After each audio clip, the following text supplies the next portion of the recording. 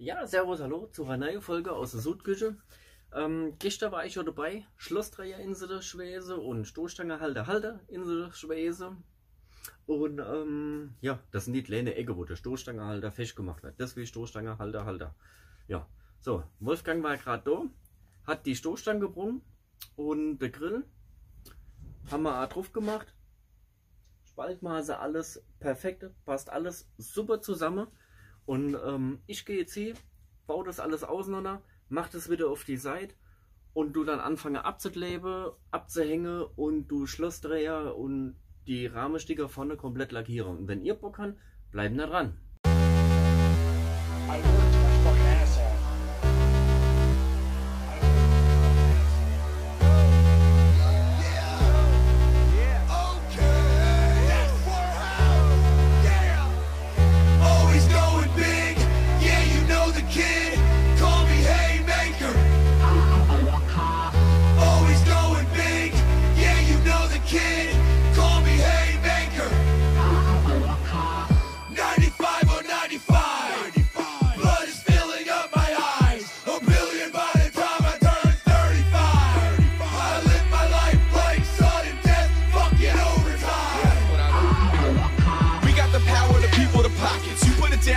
But we step up and drop it. If you don't go hard, you better go home, cause we're swinging for knockouts. I dare you to stop us. It's not what you think,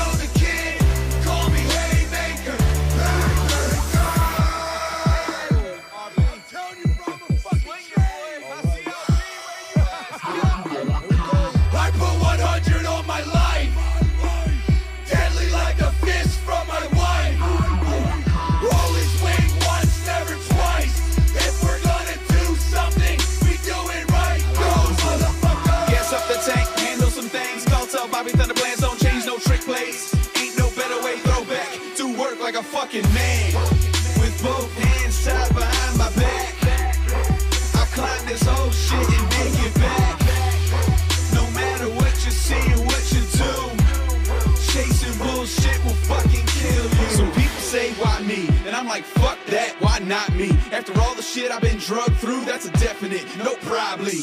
What you think, it's the lottery? Like luck and a little bit of magic are the only things that got me from over there to where I wanted to be?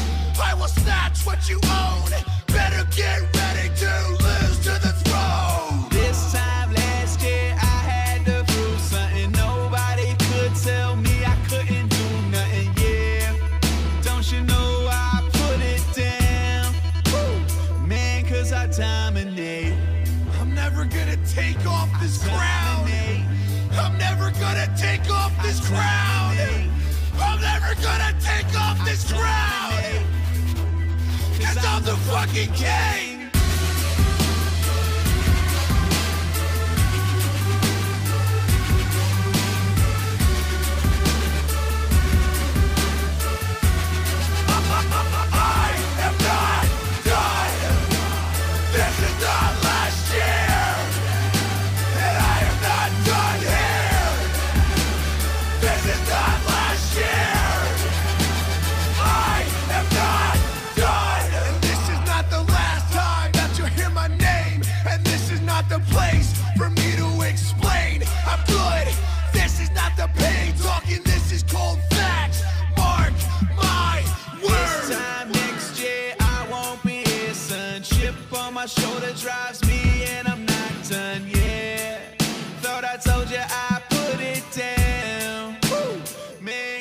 Dominate. I'm never gonna take off this crown. I'm never gonna take off this crown. I'm never gonna take off this crown. Wie ihr gesehen habt, vorne rum der Vectra, Schlossdreher, alles, die Rahmenstücke sind komplett lackiert. Ähm, hab geschliffen, Rostschutzkodierung drauf, hab dann Grundierung drauf gemacht und hab dort noch jetzt den Lack gemacht. Der tut jetzt noch ablüfte. Ähm, dann kommt Klarlack drauf. Aber ich nehme euch ganz kurz rum und zeige euch das. Da haben wir es jetzt so. Das sieht in dem Matt natürlich so richtig finde ich, das sieht man halt das Metallic so geil. So. Innen drin die Lampendreher, komplett rechts wie links. Die Stoßstange, Halter, Halter, die Stoßstange, Halter, die Bleche da. So. Ich mache jetzt den Klarlack fertig, mache Klarlack drauf und dann sollten wir das soweit haben.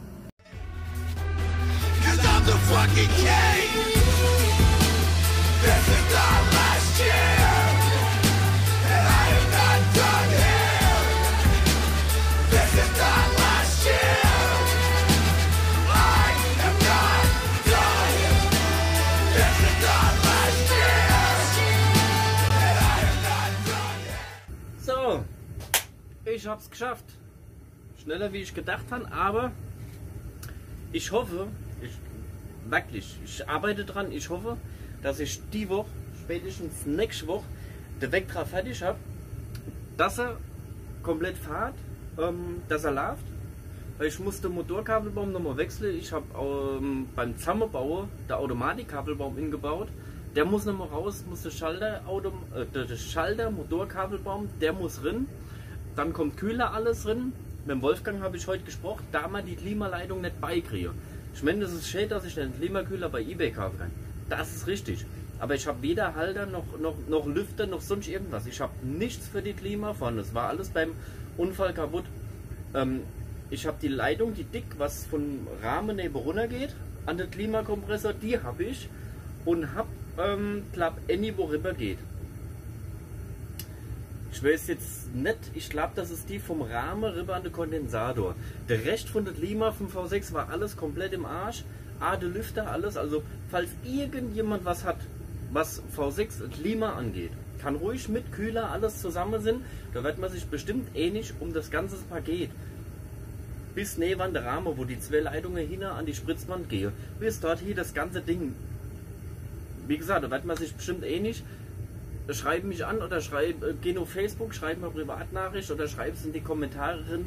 Wäre saugeil, wenn man das hier krächte, weil das Auto ist zu schade, um irgendwas nicht original zu machen.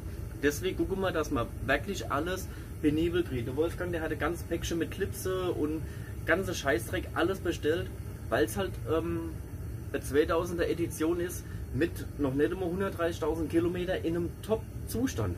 Der hat weder am Unterboden noch sonst irgendwas, kein ähnliches Rostbläschen, der hat innen drin noch nicht immer einen Kratzer irgendwo am Radio an der Schalter. Da mache ich, wenn er fertig ist, noch ein komplettes Video dazu. Deswegen wollen wir dann komplett richtig herrichten.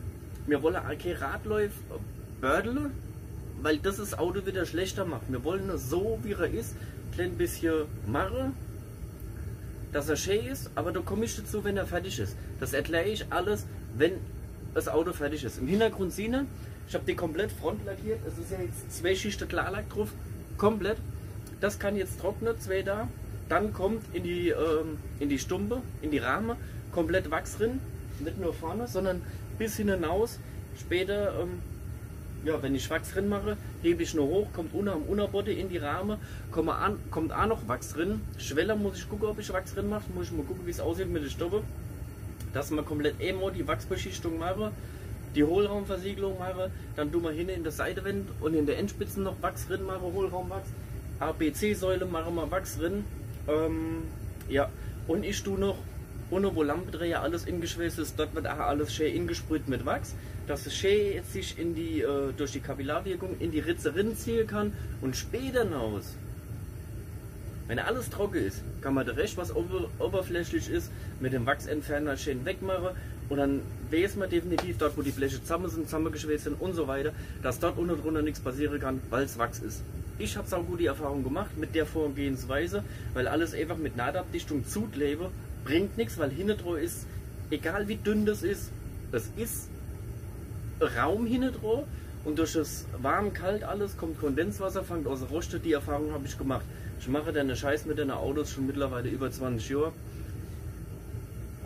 Hm, fast 24 Jahre und äh, habe einiges gelernt in der Zeit. Und ja, so, wie gesagt, das tut jetzt da zwei Trockner. Ich denke, zum Wochenende hier bauen wir Kotflischel alles dran. Dann kommt das nächste Video dazu.